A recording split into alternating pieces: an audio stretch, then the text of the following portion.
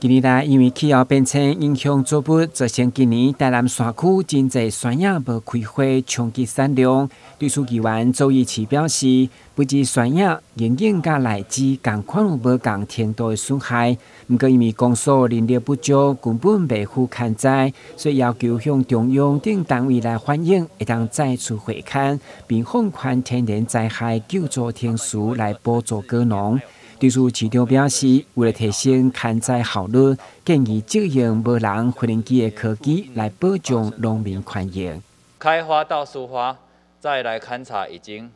好几个月过了。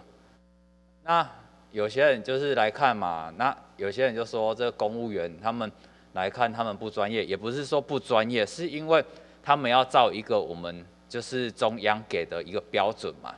那边看不到东西就不予补助，那变成很多人他们就认为这个东西虽然是我们台南市政府、我们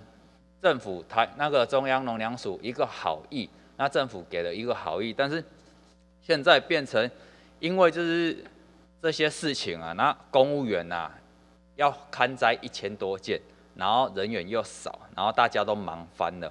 然后标准又不一，那变成我们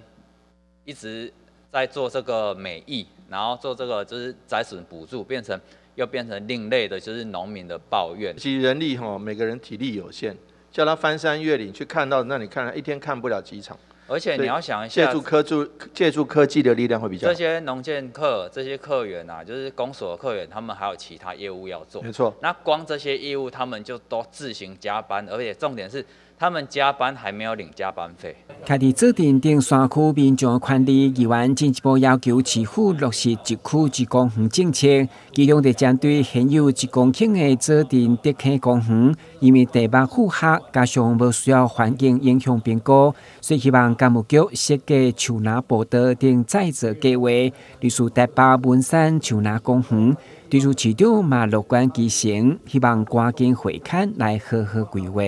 台南新闻，郭文吉、林根采访报道。